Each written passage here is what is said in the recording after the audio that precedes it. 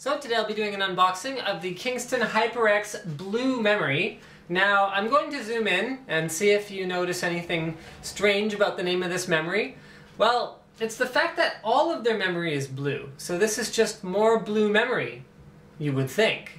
But no, I actually have the press release up on my screen and depending just how HD my HD is, you might be able to read it. But Kingston HyperX Blu Memory modules have a new look so I'll show you the new look once we get the box open. They run at standard JEDEC speeds and timings, but the big benefit is that they have lots of overclocking headroom for enthusiasts. So it's kind of like what AMD is doing with their Black Edition chips, where they're purposely running it at a conservative setting in order to give you more room to overclock them, to really find the limits of them. So let's get the blue 4 gig kit open here. This is a dual channel kit, and it's available in 6400 DDR2, 1333 DDR3 as well as 1600 DDR3.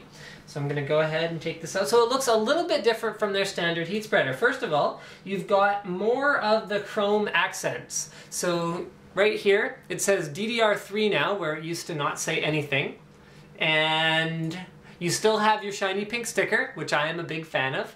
I'll turn it around. So this is a 240 pin standard dual-sided memory module and you can see on this side, you know, it's funny because I was looking at it in the box and I was like, oh, well, how is it HyperX Blu? It doesn't say blue anywhere on it. It doesn't say blue on the package.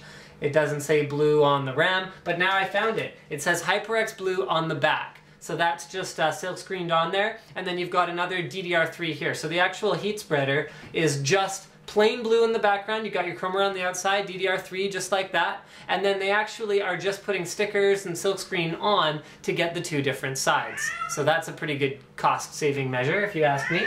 So like I said, two modules, these are all about the overclocking headroom, so what I'm going to be doing in the next little bit is I did a big Core i5, or rather Core i7 875K, so Intel's new unlock chip. I did a big overclocking guide on that, and the whole point of that guide was now we can overclock the CPUs as far as we want without actually stressing the RAM. So I'm going to grab that same test platform and I'm going to take a bit of a different approach and I'm going to see how far we can stress the RAM without stressing the CPU since I have both up and down multiplier adjustments as well as being able to play around with the turbo mode. So thank you for checking out my unboxing of the Kingston 4GB DDR3 HyperX Blu RAM.